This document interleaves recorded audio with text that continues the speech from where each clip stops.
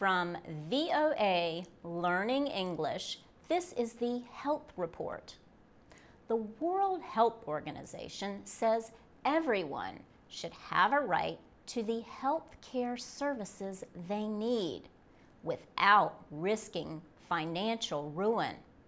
A new WHO report is urging countries to provide health care designed to meet the needs of their citizens.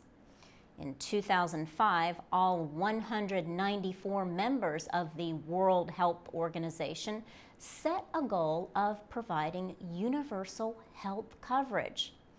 But very few countries have reached that target. Most people must use their own financial resources to pay for the health care they need. Since health care needs differ from one country to another, the new report urges every country to create its own system of health coverage. It says the services should include prevention, treatment, rehabilitation, and reduction of pain. And the health care should involve communities, health centers, and hospitals. Christopher Dye is head of the WHO's Office of Health Information, HIV AIDS, tuberculosis, malaria, and neglected tropical diseases. Every year, he says, about 150 million people face extraordinary medical expenses that they cannot pay.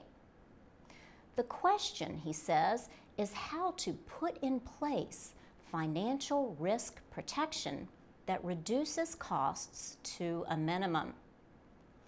The report shows how research can help countries improve their health system.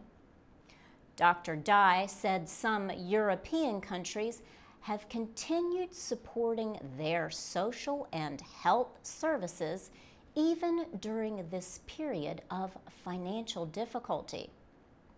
He says that decision is paying off in better health for their people. Dr. Dye notes that the cost of medical care is increasing quickly. Because of that, he says, governments must work harder to keep costs under control.